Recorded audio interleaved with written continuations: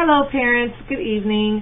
Mrs. Walton here to uh, give you a little tip on how to use the Padlet on your mobile device, okay, on your tablet or on the phone. So if you're using your phone or a mobile device to access the library lessons, here are a few little tips. So I am here, let's see, we can go back to the home page just so you can see there's the home page and I'll click here and go to the weekly lessons. This week, and I may do a little update uh, in a different video just to show you, but uh, this is mainly for posting on the Padlet. So here we are uh, at April 13th through the 17th. Today we had the pre-K through second grade lesson. And so I'll click here um, for our pre-K through second grade lesson. All right, this is where you would go to read the stories and see the assignment. Please be sure to read the assignment so you'll know what to do, you'll know which day to read. We are at week two at the Scholastic Learn at Home, and so um, we're reading day 10. That was today's assignment for pre-K through second graders. So pre-K through kinder are going to read day 10. First and second graders would read day 7 today. All right, and then the activity is here. The information is here in English, and below uh, I've used Google Translate for um, the Spanish version. Excuse me a moment. I just need to plug in my computer. All right.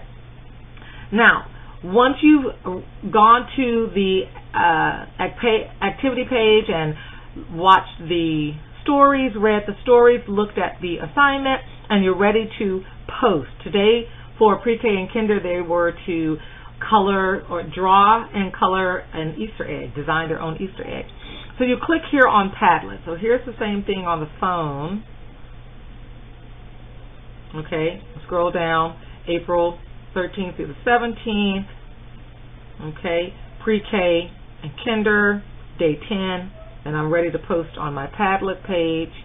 There's my Padlet page there. Here's my Padlet page here.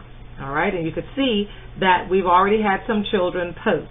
Now, what these three children here have done is I provided an option. If you didn't want to draw uh, and post a picture, you could go to this website right here and color an egg online. Pick a design and color it online. And so these children picked different designs here and they colored their egg. They saved it and posted it here. Now here is my example. I used the drawing option in Padlet to create my egg. Isn't it lovely? Here's how you would post. Now you'll just go to any open space here. If there's lots of postings, then just scroll down until you get to an open space anywhere. And simply double tap. And there you are. You have you have a little window where you have a title, and that is where I suggest you put your child's name, and then you can type whatever you would like. Okay, so for example, I'll put a child's name.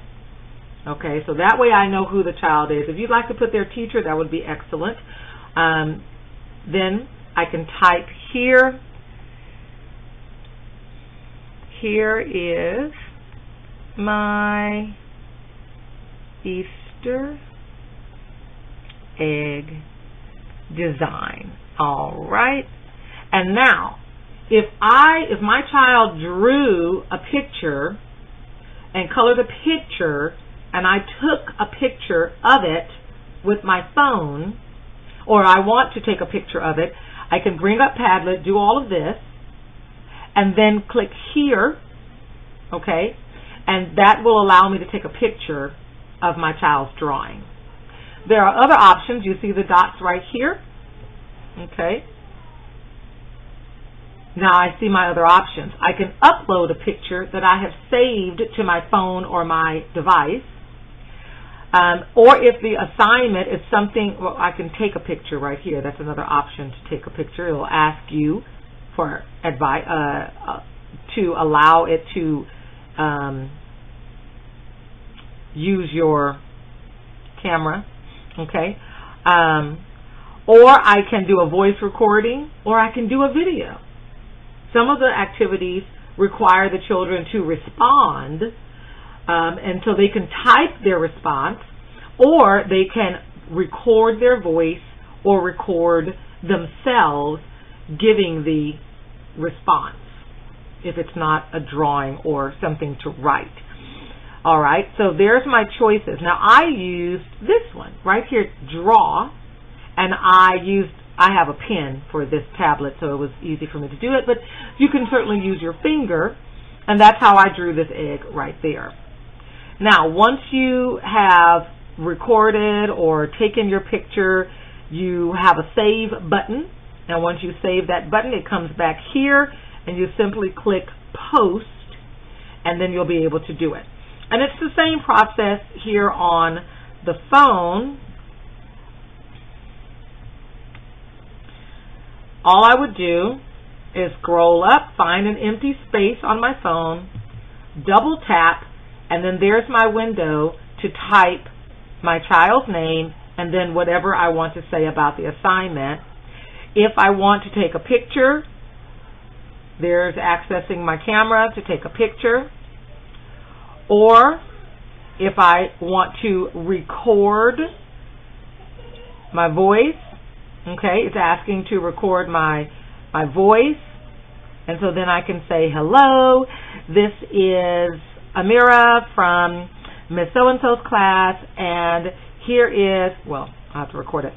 Hello, my name is Amira, and I'm from Miss So-and-so's class, and this is what I thought about today's assignment. I really like the stories, and so on and so forth.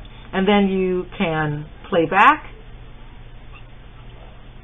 Hello, my name is Amira, and I'm from the so-and-so class, and this is what I thought about today's assignment. I really like the stories. And okay, and then I can save it.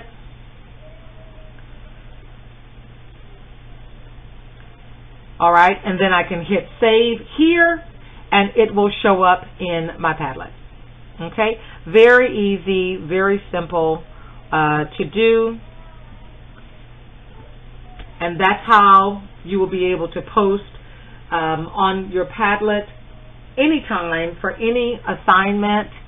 I do know that there were two Padlets that were created last week, and for some reason, it would not allow anyone to create postings. I don't know what happened with those. I've tried to figure out uh, the problem, but I did test today's Padlet uh, for pre-K through second, and I've tested uh, the Padlet for tomorrow for grades three through five, and those both open up without a problem.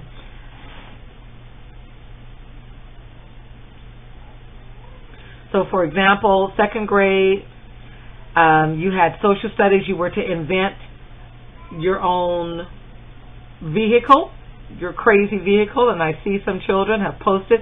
And this is what I mean, parents. See, these children drew theirs, and their parent took a picture and they uploaded the picture from their phone, or as I said, double tap, click the camera button, okay, and then you can take a picture of the item, okay? You can take a picture of the item and post it there. So those are your ways to post on Padlet. I hope this was helpful. If you need me to walk you through anything, um, I'll be happy to give you a call or um, talk with you any other way. And you may certainly post your pictures in Class Dojo, but I would I will always have a Padlet for each lesson because this way I'm able to show the children, uh, share links with them like I did here. Um, this is a link here.